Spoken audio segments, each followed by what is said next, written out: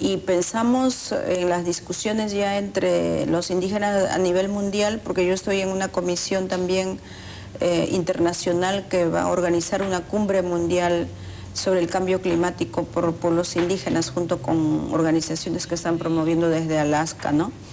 Y entonces es ver cómo es que también nosotros podríamos contribuir a prevenir, porque nuestros mayores sabían perfectamente cada cuánto tiempo podría venir un cataclismo y tomaban sus precauciones.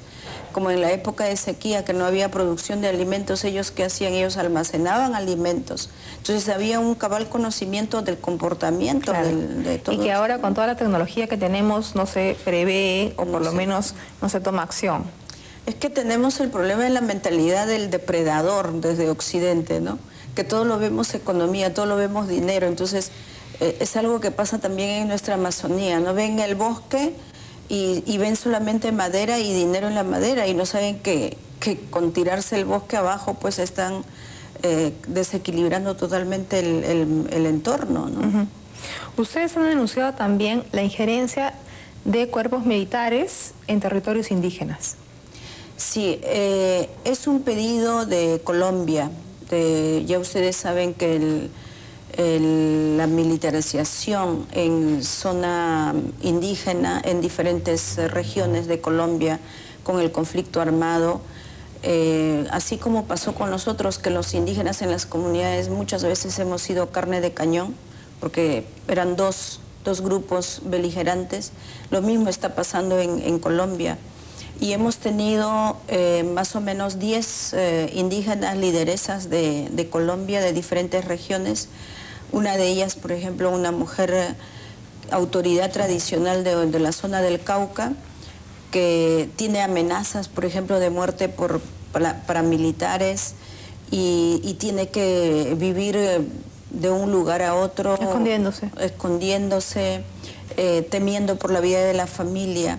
Fue muy emocionante que anoche en la clausura ella pudo decir algo y, bueno, por eso es que se, se... Hay situaciones de violencia y de guerra que no lo provocan los indígenas, pero que se da en territorio indígena y no se toma en cuenta la vida de los indígenas. Entonces, justamente ese párrafo es a pedido de, Colombia y, bueno, y de otros uh, países, ¿no? como en el caso también de muchos países de África. ¿La legislación en el país, en nuestro país, protege a los indígenas? Mire, el Perú en todo aspecto tiene las leyes más avanzadas.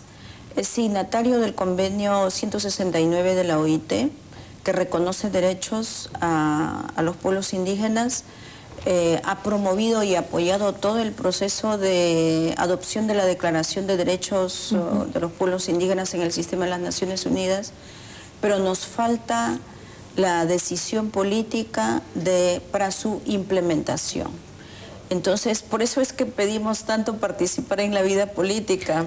Para luchar por sus reivindicaciones. Pero las mujeres eh, indígenas que están ahora en política no están luchando por este tipo de cambios en la legislación, por la implementación, por las mejoras en la legislación, o porque a veces también pareciera, sin ánimo de hacer una crítica, sino más bien eh, comentar esos temas, pareciera que en el, Parlamento las mujeres que se encuentran ahí, que son indígenas, no todas, algunas, solamente tienen, mencionan el hecho de ser indígenas, pero para decir, ah, bueno, entonces que haga lo que quiera o que diga lo que quiera, cuando en realidad la lucha que se tiene que hacer día a día, usted, por lo que me dice, parece que no se da.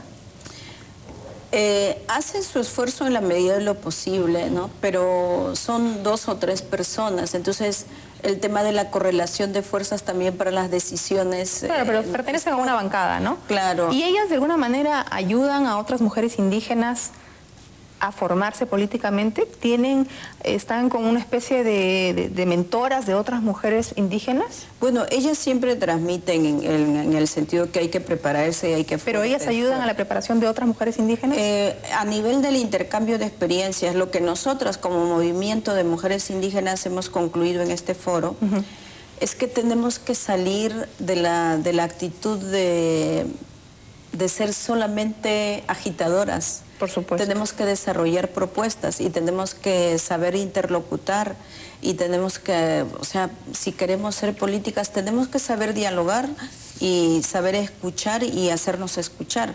Porque también concluimos que con gritar en las calles de repente no vamos a lograr nada, ¿no? Entonces, la formación política también que han pedido las jóvenes eh, tiene que incluir no solamente lo, políticamente dicho de, como estrategia, sino también la capacidad de, gestión y de, desarrollo de propuestas al más alto nivel, ¿no?